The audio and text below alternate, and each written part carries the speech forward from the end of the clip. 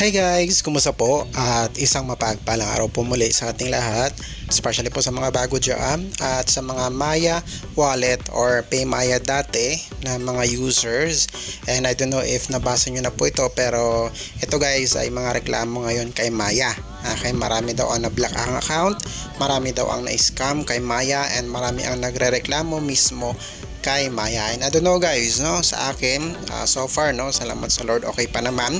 Wala naman pong nangyayari and nawa, wala talagang mangyari kasi may laman po yung ating Maya wallet. Pero sa iba, ito nga ang nangyayari guys. And I don't know sa inyo. Okay, kaya double ingat po tayo sa paggamit ng mga e-wallets natin. Make sure guys no, na uh, hindi po tayo nag-share ng mga information natin tapos, uh, ayun nga. So, make sure na hindi tayo pumapasok sa mga website gamit po yung mga number natin sa mga e-wallets natin. So, ito guys, uh, isa lang to, no? Marami to actually. Sabi rito, grabe tong ginawa ni Maya. Ayan, galit na galit kay Maya. Gustong humingi, ay uh, guys, humihingi ako ng tulong sa inyo lahat para ma-reach ko ang Rafi Tulpo. Help me please get back my savings sa Maya. And maybe also help others magka-bosses at maklaim ang mga pera nila from Maya. Grabe sila, wala man lang warning or abiso or kahit tawag man lang explanation kung bakit i-close nila ang account. Tapos isang message lang natanggap ko kahapon na i-close ko no nila ang account ko for some violation. After nun text message, di ko na agad ma-open ang app nila. Nakailang tawag na ako sa hotline nila, nag-email, uh, ang binigay lang sa akin ay ticket for follow-up. Asa na maya ang advertisement nyo na my money, my app. Grabe kayo, big banks nga like video, pinapa-withdraw pa ang mga tao bago tuluyan i-close ang account. Pero kayo, close nyo agad, walang abiso.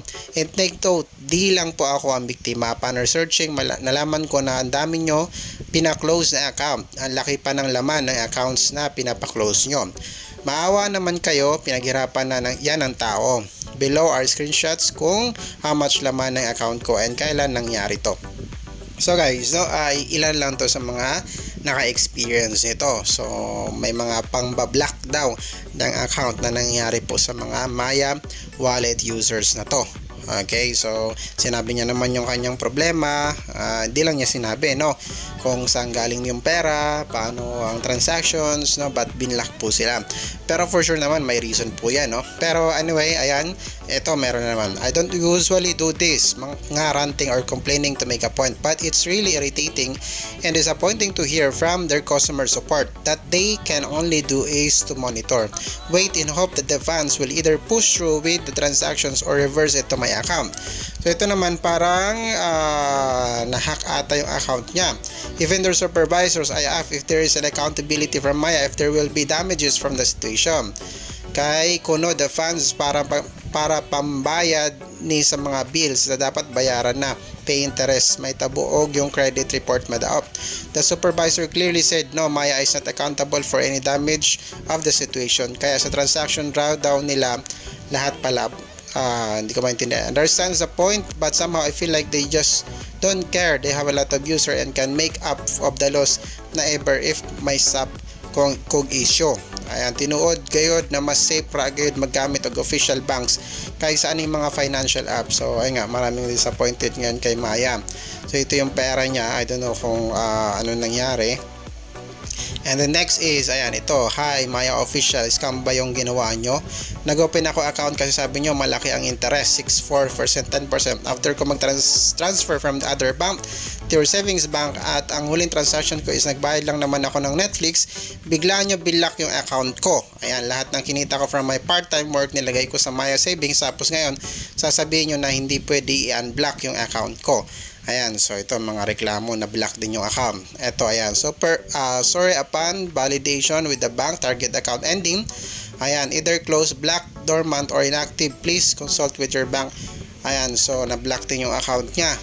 Ayan, ito rin. Another victim na naman ni Maya. Uhu, kung may Maya account or savings kayo, lipat nyo na agad before. Ayan, thank you. So, ito yung mga reklamo guys. Very timely post regarding unauthorized transactions. Ito naman parang uh, na-hack yung account niya dito kay Maya. So, parang Gcash lang din guys, no? So, siguro after tapos na ang kay Gcash, ayan, sumusunod na naman si Maya. So, hopefully guys, no, ay ma-resolve. Hopefully din ay safe yung mga account natin, no, and no, ay uh, hindi mangyari sa atin. Itong nangyari sa kanila na block ang account nila especially may pera sila no? Pero nakakatakot to kasi kung may pera ka sa Maya tapos biglang i-block tapos hindi na nila open na pera mo naman yon eh talagang hindi siya okay no? Talagang magre-reklamo ka. So guys no ay be safe lang tayo and siguro ay wag lang talaga maglagay ng malaking halaga okay sa mga Maya, Maya bank accounts po natin or sa mga e-wallets po natin. Yun lang ang gusto ko i-share guys. Maraming salamat and God bless po sa ating lahat.